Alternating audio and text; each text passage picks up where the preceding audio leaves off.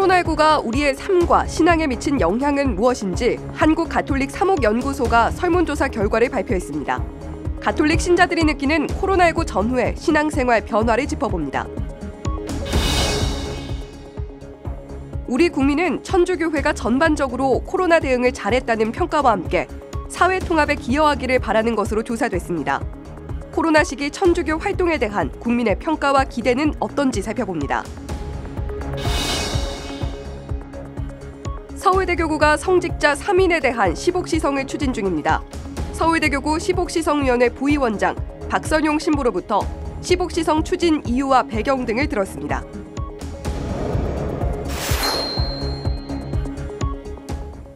시청자 여러분 안녕하십니까? 3월 28일 화요일 CPBC 뉴스입니다.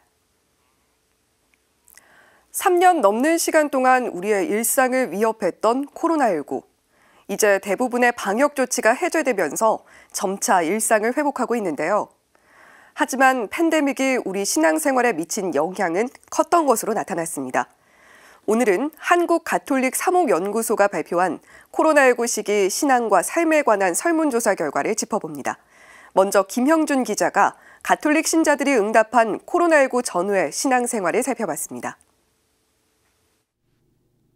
일상을 삼킨 코로나19는 신앙생활에도 막대한 영향을 미쳤습니다.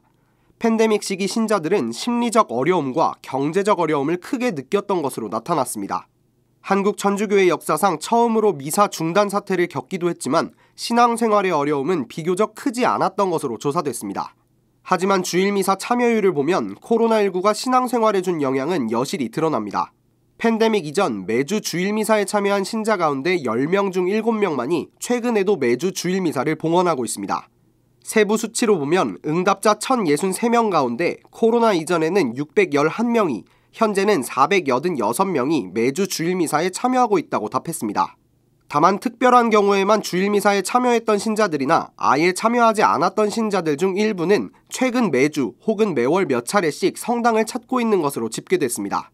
청년층의 주일미사 참여율도 하향세를 보였습니다. 20대 주일미사 참여율은 코로나 이전 대비 17.1%포인트 낮아진 것으로 조사됐습니다. 대면 미사 참여가 줄어든 이유로는 코로나19 전염 우려와 미사 불참이 익숙해져서라는 답변이 가장 많았습니다. 20대의 경우 주일 미사에 참여하지 않는 것에 익숙해졌기 때문이라는 응답이 특히 높았습니다. 코로나 시기 신앙생활이 위축되지만은 않았습니다. 여러 온라인 방송 매체를 통한 신심 활동이 활성화되기도 했습니다. 신자들은 CPBC 매일 미사를 시청하거나 메신저를 통해 친교를 나눴고 종교와 신앙에 관한 유튜브 콘텐츠를 소비하며 신심을 이어갔습니다. 온라인 또는 방송 미사에 대한 만족도는 61.7%로 대체로 높게 나타났습니다. 실제 미사라는 생각이 들지 않고 영성체를 하지 못하는 등의 이유로 불만족한다는 응답은 6.7%였습니다. 다만 온라인 방송 미사는 최근 대면 미사에 참여하도록 이끄는 역할을 한 것으로 평가됐습니다. 아울러 실제 미사에서 얻는 체험이 어느 정도 이루어졌다는 의견도 나왔습니다. 이번 조사에는 천주교회에서 가장 변해야 하는 문화에 대한 신자들의 생각도 담겼습니다. 신자들 간 끼리끼리 문화가 첫째로 꼽혔고 권위주의적 문화, 일부 신자 위주의 본당 운영, 사제의 독단적 의사결정 구조가 뒤를 이었습니다. 이번 조사는 올해 11월 발간될 한국 천주교회 코로나 팬데믹 사목백서에 반영될 예정입니다. CPBC 김형준입니다. 계속해서 코로나 시기 한국 천주교회 활동에 대한 일반 국민의 평가와 기대는 어떤지 알아봅니다. 전반적으로 코로나 대응을 잘했다는 평가와 함께 사회 통합에 기여하기를 바란다는 의견이 많았습니다. 윤재선 기자가 전합니다. 먼저 일반 국민 1000명을 대상으로 코로나 시기 한국 천주교회 대응이 어땠는지를 물었습니다. 잘했다 41.9, 미흡했다 33.7%로 전반적으로 잘했다는 평가가 높게 나타났습니다. 코로나 이전과 비교한 호감도에선 좋아졌다 31.7, 나빠졌다 22.5%였습니다. 긍정적인 평가가 많긴 했지만 잘 모르겠다는 응답이 45.8%로 나타나 호감도가 개선됐다고 판단하기는 어려워 보입니다. 천주교를 신뢰한다는 응답은 56.1%였습니다. 별로 신뢰하지 않는다거나 전혀 신뢰하지 않는다는 답변은 33.4%였습니다. 일반 국민의 눈에 비친 천주교에 대한 이미지는 어떨까? 따뜻하고 희생적이며 진정성이 느껴진다는 응답이 70%를 웃돌았습니다. 반면 가난하기보다는 부유하고 개방적이기보다는 폐쇄적이며 진보적이기보다는 보수적이라는 이미지가 좀 더 우세한 것으로 드러났습니다. 특히 젊은 세대일수록 천주교 이미지를 부유하고 폐쇄적이며 보수적이라고 보는 경향이 두드러졌습니다. 60대 이상의 국민 절반가량은 천주교를 가난하고 개방적이라고 여기는 반면에 20대 층에선 10명 가운데 6명 이상이 그렇지 않다고 봤습니다. 이는 가난하고 개방적이며 진보적인 교회의 모습을 청년 3억 방향의 중요한 성찰 기준으로 삼아야 한다는 점을 시사하는 것으로 해석됩니다. 전주교회가 가장 잘하고 있는 활동은 무엇이라고 생각하는지를 물었더니 무료급식 제공을 가장 잘한다고 평가했고 이어 지역민을 위한 성당 공간 개방, 독거노인과 빈곤층 등을 돕는 활동을 꼽았습니다. 반면에 자살 유가족, 재난 피해자 등을 돕는 활동과 환경 통일 운동, 탈북자와 다문화, 이주 노동자를 돕는 활동은 상대적으로 낮은 평가를 받았습니다. 이런 조사 결과를 두고 주교회의 한국 가톨릭 사목 연구소 측은 더욱 전향적으로 사회 안에서 교회의 실천적 역할을 보여줄 필요가 있다고 제안했습니다.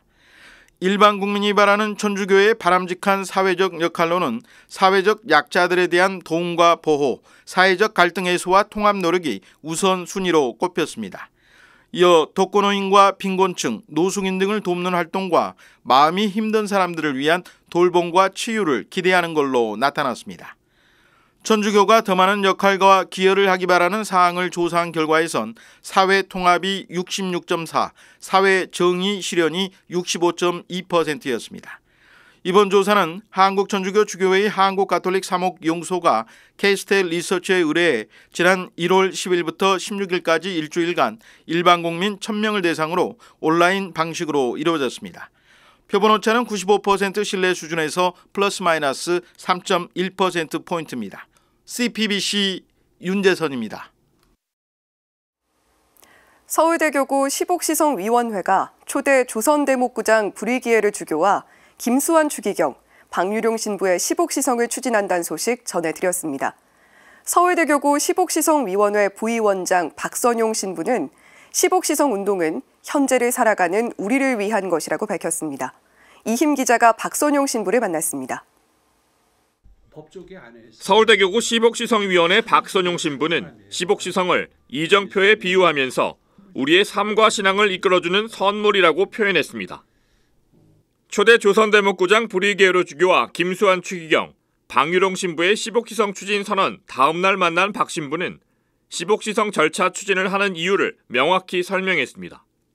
바로 우리를 위해서라는 겁니다. 교회가 특별히 복자나 성인이나 이런 시복 시성 절차를 어, 하게 된 것은 살아있는 우리들에게 주는 모범, 그 귀감을 우리 안에 간직하기 위해서죠. 하느님의 종 브리게르 주교는 초대 조선 대목구장이라는 상징성이 있습니다. 특히 교황청으로부터 시복시성 절차를 추진하는데 장애가 없다는 증명서인 니힐 옵스탓을 받아 가장 먼저 하느님의 종으로 불리게 됐습니다. 이에 발맞춰 시복시성위는 새 성직자에 대한 시복시성 추진 선포와 동시에 가장 먼저 브리게르 주교 시복시성을 위한 공식 조사에 착수했습니다. 김수환 추기영과 방유롱 신부도 같은 절차를 거쳐 늦어도 내년 안에는 하느님의 종으로 불리게 될 전망입니다. 서울대 교구의 시복지성 추진은 한국천주교회에서 교구 차원으로는 처음입니다. 특별히 서울 개포동 본당 신자들이 2004년부터 자발적으로 브리게르 주교 현양운동을 추진해온 결실이기도 합니다. 그동안 103위 순교 성인과 124위 복자, 가경자 최영업 신부, 그리고 홍용호 보르지아 주교와 동료 82 시복시성은 주교회의 차원에서 진행됐습니다. 또한 하느님의 종 이벽 요한 세례자와 동료 132위, 하느님의 종 신상원 보니파시오 사워 아빠스와 동료 37위의 시복시성도 한국교회 차원에서 추진 중입니다. 박 신부는 시복시성의 출발은 명성이라고 밝혔습니다. 그러면서 무엇보다 기도와 현양 운동이 절실하다고 강조했습니다. 시복시성 목적과 과정은 전적으로 다 교우들의 그 영적인 성장을 위한 과정이라고 표현할 수가 있겠죠. 그래서 이게 뭐 학문적으로 하는 게 아니라 또 기술적으로 하는 것이 아니라 기도와 정성이 모아졌을 때 하나님이 주신 선물이 예, 복자와 성인이기 때문에 CPBC 이심입니다. 가톨릭 신자라면 누구나 한 번쯤 성서를 제대로 공부해보고 싶다는 열망을 가져보셨을 겁니다. 혼자 해보자니 또 쉽지 않은 게 성서 공부인데요. 이런 분들을 위해 저희 가톨릭 평화방송에서 준비한 성서 강의 프로그램이 있습니다. 김현정 기자가 소개합니다. 저희가 복음 선포의 지평을 확대하기 위해 이번에 평화방송에 바이블 무브라는 이름으로 여러분들과 함께 오경과 역사서를 나누어 보고자 합니다. 언제나 시작만 했다가 창세기에서 더 진도가 나가지 못하는 성경 공부. 비슷한 경험을 한 가톨릭 신자들이 적지 않을 겁니다. 그만큼 쉬운 것 같으면서도 어려운 게 성경 공부입니다. 현실의 삶과 연결시켜 이해하는데 적잖은 어려움이 있어 성경 구절이 좀처럼 피부로 다가오지 않을 때도 있을 겁니다. 이런 분들을 위해 가톨릭 평화방송에서는 좀 더 쉽고 성경을 생활화할 수 있는 성서 강좌를 마련했습니다. 강사는 50년간 성서 생활화 운동을 해온 영원한 도움의 성모수도의 4명의 수녀입니다. 그야말로 성경 공부와 나눔에 있어선 어벤져스 군단이라 할 수 있습니다.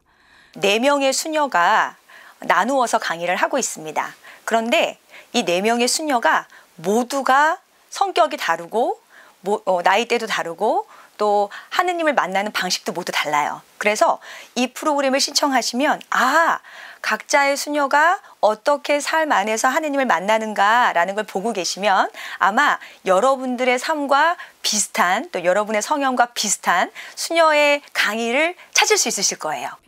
네명의 강사들이 이번 바이블 무브를 하면서 내세우는 키워드가 생활화, 재미, 실천입니다. 그래서 프로그램 이름도 바이블 무브입니다. 성경의 이야기가 마- 나의 이야기고 성경 속에 나오는 수많은 사건들이 바로 나의 삶의 이야기라는 것을 좀 이해시키고 그래서 이러한 40주가 바이블 무브에 사는 이 성경의 강의는 좀 더 현대인의 삶에 적용을 시켜서 또 많이 이해하고 제 강의가 제일 쉬우실 거예요. 네, 그래서 제가 그거는 자부합니다.